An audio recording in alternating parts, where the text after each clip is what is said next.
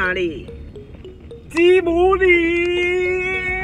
听说现在已经有很多的改造，已经逐渐的完成对我。超期待的。到了，特别来宾就是走，跟我一起去旅行。啊，等一下，我还有一些伙伴。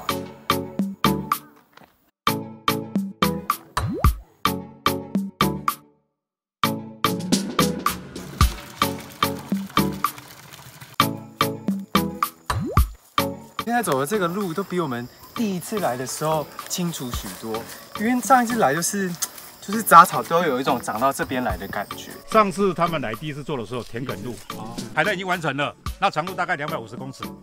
那他们上次修的，我们现在以处长来看一下成果。这之前没有长这样哎、之前他们做的、啊，可以照一张相吗？这是超棒的完美打卡点呢、ha ha ha ha ha ha ha ha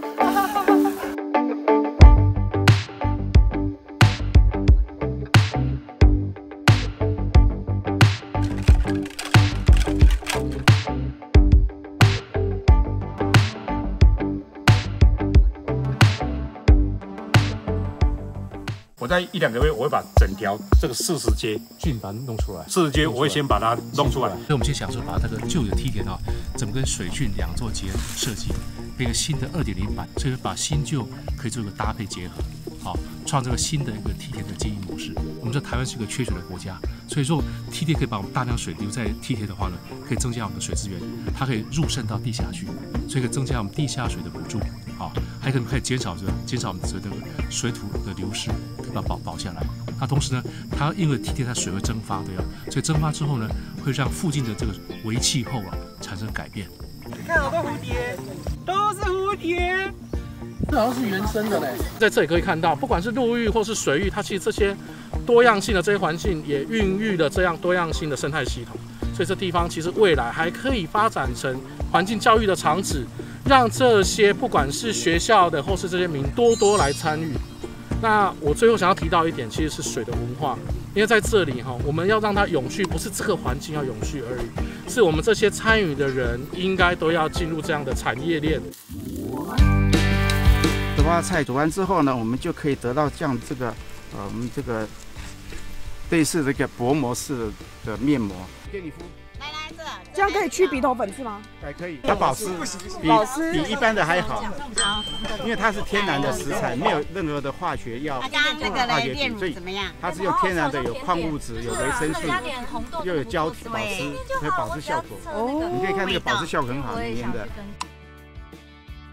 把这个九孔弄了，跟我们的市市面上的贡丸呢，呃，做一个组合。那我们用到的加工技术呢，就是一种乳化的技术，把两种食材结合在一起。等一下，这个这个现在轻松在家就可以吃到那个板豆料理耶，哎，你看这个九孔爆贡丸的九孔，它真的是九孔爆出来，对啊，什么意思？好吃吗？好吃吗？很好吃啊，你吃，很弹牙。还是我刷给你一颗吗？那我也要吃你的九孔。来了，我喝石花冻喽。哎，谢谢肖大哥。这是东北角的特产石花冻，然后我们自己熬出来，哦，有加一点鲜草，比较没有鱼腥味。嗯，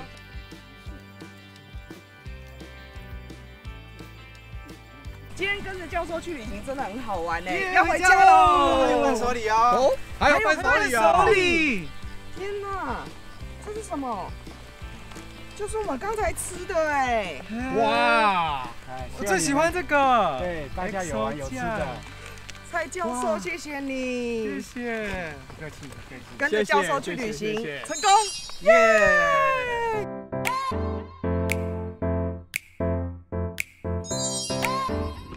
今天要去哪里？迪姆里。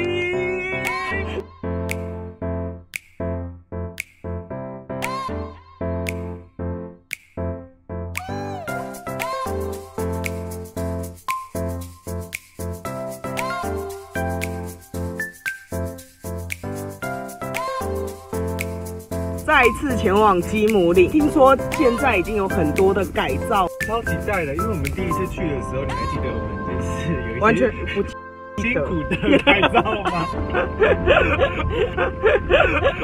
我觉得我们现在走的这个路都比我们第一次来的时候清楚许多，因为上一次来就是就是杂草都有一种长到这边来的感觉。根本就是在开辟古道，好不好？我们上一次，所以我们参加了开辟古道的对啊，过程呢。天哪那！伟大的不忘。哇，只只开一次在那边。